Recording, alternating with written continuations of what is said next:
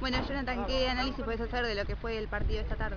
Eh, nada, digamos que fue un partido medio complicado, eh, medio como que dormimos en el segundo tiempo, el primero lo pudimos dominar, pero por suerte pudimos pasar a la próxima instancia. Lo bueno es que el equipo, más allá de la derrota, pudo generar situaciones, no se dejó condicionar, si se quiere, por la ventaja que habían conseguido en el primer partido. ¿Lo analizás de esa manera también? Eh, sí, sí, sí, un poco, un poco de esa manera. Pudimos contrarrestar un poco los contragolpes. Ya en el segundo tiempo se nos veían, se nos venían y bueno, gracias a Dios pasamos.